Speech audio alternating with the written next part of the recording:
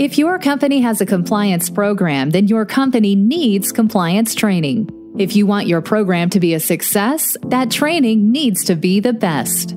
Join Sean Rogers and Tom Fox on Excellence in Training and learn just how good compliance training can be. Hello, everyone. This is Tom Fox, back again with Sean Rogers for another episode. Today, we're going to talk about establishing your program design objectives. So, Sean, what are program design objectives in your opinion?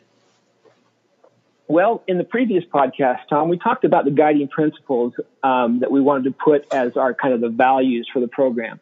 Once you've established those, you're now ready to kind of get a little bit more into the weeds with you, what you want to accomplish and what characteristics um, you want the program to, to have. Um, and so when I say characteristics, I'm talking about um, the usability and the applicability of the program and how you're going to match that to the needs of your company. Um, you know, it's, it's kind of like when you go to the auto dealer. Um, you don't go there just in, with an idea that you want to buy a vehicle. You go there with some things in mind that you want. You might want four wheel drive if you're in Michigan, or you may want um, a sedan because you want to get gas mileage you're going to use it just to commute, or you may want an SUV because you're going to go off road with it. You may want any number of things. So these are the design characteristics that you think about for your vehicle.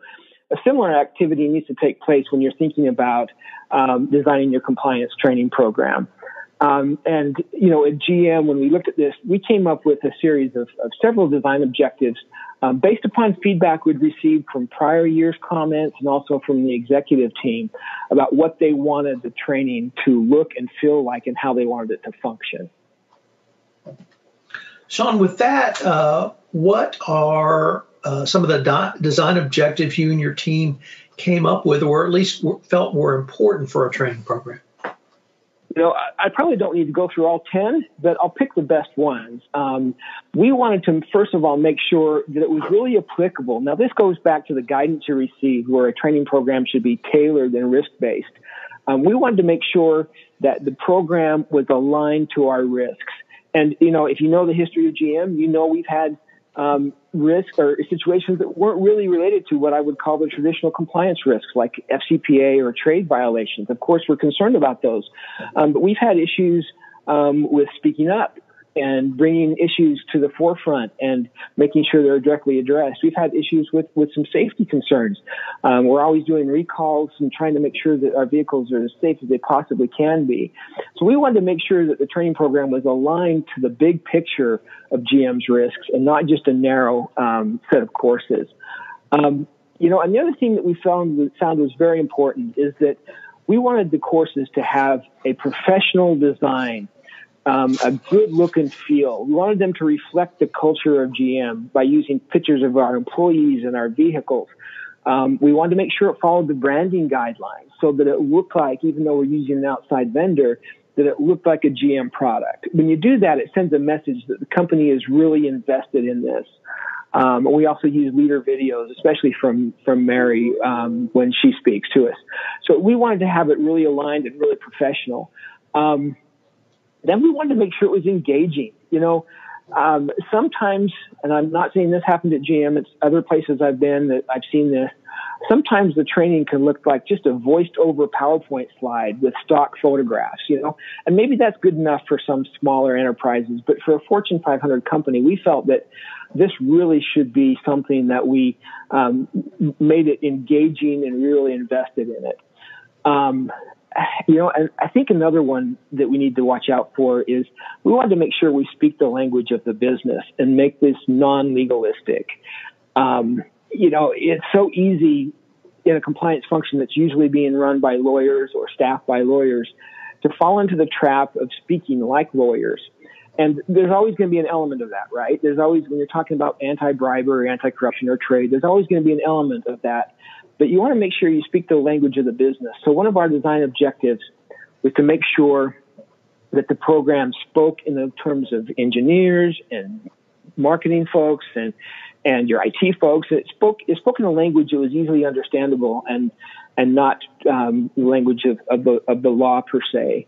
Um, and then, you know, we wanted to make sure that our our program was flexible you just never know when there's going to be a risk come in from left field that you just weren't expecting. Something, something weird. And, and, you know, we don't want you to, we don't want in our training program to lock us in that we're going to do this course in 2022 and we can't do anything other, other than marching to that. We want to make sure that if something comes up, we have um, a structure in place that we can be flexible. So those are a few of the things. Um, you know, one one thing that was so small that that really irritated our learners, we found was that between courses they had to learn a new menu structure and they had to go to a different place for their resources, and the knowledge checks were not consistent. Sometimes there were multiple choice, and sometimes there were multiple answer or single answer, and um, and just so just doing something as simple as standardizing the interface um, those are those are kind of the kinds of things we looked at in uh, in the actual design. And so we we put together a set of standards and said, you know what, if you're going to play in this space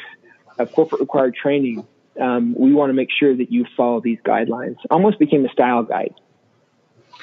Sean, uh, as I was listening to you, it really struck me that this is either, uh, at least in, as I envisioned it in my head, uh, sort of a a straight line, uh, a long, perhaps uh, somewhat bending river, uh, but a flow literally starting from we have certain legal requirements under the 10 hallmarks of an effective compliance program. But from there, you really started with uh, what are our risks? Who are the people in our company that have, or at least are exposed to those highest risks? What sort of information do they need that they can manage those risks? How can I communicate or how can we communicate to them a risk management strategy? How can they retain that risk management strategy? And as important as anything else, if a new risk comes up or a risk morphs, how can we deliver to them the information so that they can manage a new, different, or uh, morphed risk? And it's it's almost a perhaps now I'm thinking a, a, continuous cycle, but I'm, I'm really seeing every part interconnected. Would that be a fair assessment? You know, you, are you're heading up to another podcast that I want to do, but I'll, I'll give you a preview. Excellent. we we as we designed this, we realized that we had what we call the training continuum or the training maturity continuum. The base level there are certain things that are just so important that you have to reinforce them pretty much every year. And I'm talking about the basic building blocks. You know, we have a hotline. We, it's important to speak up. We don't retaliate. You know, we have conflicts of interest. Um, we have a code of conduct. And it's important for you to review it. Those kinds of things, what we call at the foundational level. But then as you move up the spectrum, the next level, and we still do online for the second level as well, that's when you come into the really the risk focused instruction. And it's that second level where we have the adaptive courses that match the user's risk profile. Somebody might get 10 minutes of content on anti-corruption, or depending on where they're located, they may get 40 minutes of training on anti-corruption.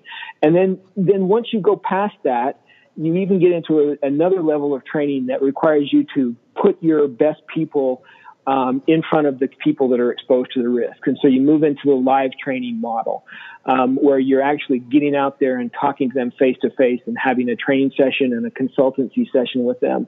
And then you even move to one level higher, and that's when you go to your gatekeepers, the people that are responsible to being the watch the watch um, watchman on the tower, looking out for these risks. And so these are the extension of your compliance function, and you've got to train them too. You've got to train them about what they need to look out for, and what the red flags are, and when they need to engage someone from legal or compliance. And so we we certainly do want to make sure that we're not just repeating the same things every year, but that we're going up that maturity continuum and we're addressing the full spectrum of risk at the level um, where the employee is faced with those risks. So you're you're preaching my your my my tune. You're you're singing my tune, Tom. Excellent, Sean. Well, this has just been a fascinating explanation, exploration rather, and I greatly look forward to seeing uh, what we come up uh, with for the next episode. Sean, thank you so much. Thanks for the opportunity, Tom. Always great to talk with you. Thanks for joining us for this episode of Excellence in Training. Help get the word out by rating us and leaving a review.